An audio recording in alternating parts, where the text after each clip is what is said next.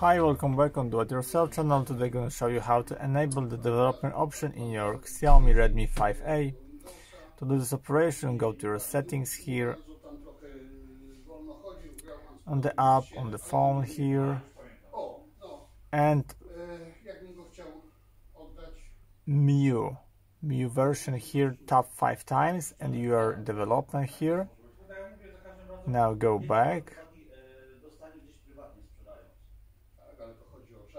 additional settings. And here you're gonna have uh, developer settings.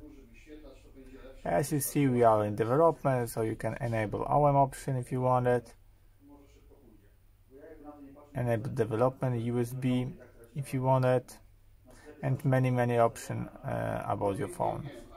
And that's it. I hope the video is helpful for you. If yes you can leave like leave comment and leave subscribe. And see you by next video. Hey